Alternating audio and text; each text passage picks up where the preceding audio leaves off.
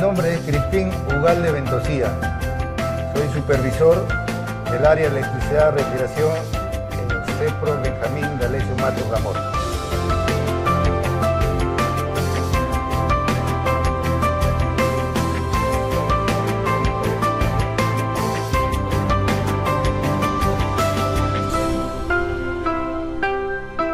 Hoy por hoy tenemos que tener en cuenta que el mundo está en peligro por la destrucción de la capa de ozono. Los gases refrigerantes que se emplean en equipos de refrigeración doméstica, comercial, industrial, son gases llamados freón, que tienen cloro. Y este gas, al impulsar al medio ambiente, tienden a expandirse. Esos gases no se deben emitir al medio ambiente. Entonces nosotros preparamos en esa estrategia al técnico para que tenga en cuenta de que el gas no sea emitido al ambiente por a veces fuga o de mala maniobra que se tenga.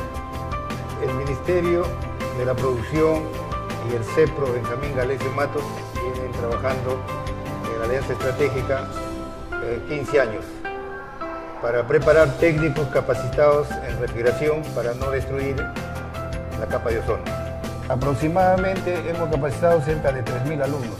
Se está utilizando máquinas especialmente para recuperar gases, no emitir al medio ambiente. Estos gases recuperados después se reciclan para poder usar, o sea, evitar por todos los medios de que el gas sea. Namor da parte de, de que es respiración, tenemos también la parte de electricidad y electrónica que complementan ahora en la actualidad los equipos que vienen con refrigeración porque el alumno sale capacitado para trabajar en el campo de refrigeración, el campo de refrigeración es mecánica, es eléctrica y electrónica. Los equipos vienen electrónicamente explicados. Entonces, eh, nosotros capacitamos, eh, además de refrigeración, aire acondicionado, en que ellos, como esta institución dice, CEPRO, quiere decir Centro Técnico Productivo. Entonces ellos están capacitados para producir o para fabricar sistemas de refrigeración doméstica, comercial, aparte del mantenimiento que realizan